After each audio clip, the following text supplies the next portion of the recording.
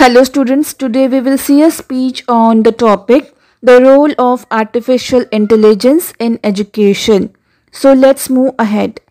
Good morning respected principal, teachers and my dear friends. Today I want to talk to you about something truly fascinating and important. The role of artificial intelligence in education.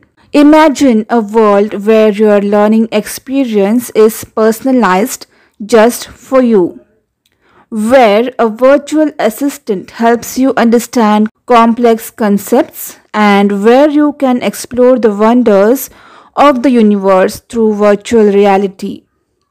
That's the promise of AI in education. Artificial intelligence has the power to revolutionize the way we learn.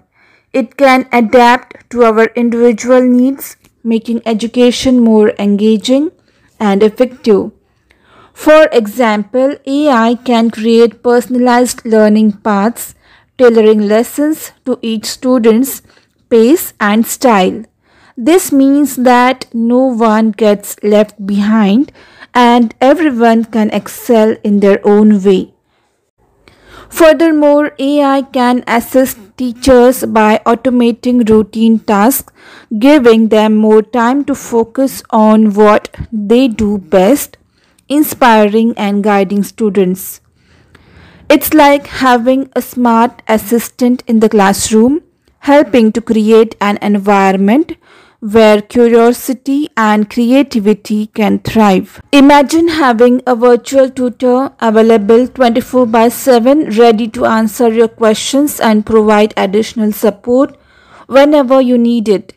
AI can make this reality extending the learning experience beyond the classroom and helping you explore new topics at your own pace.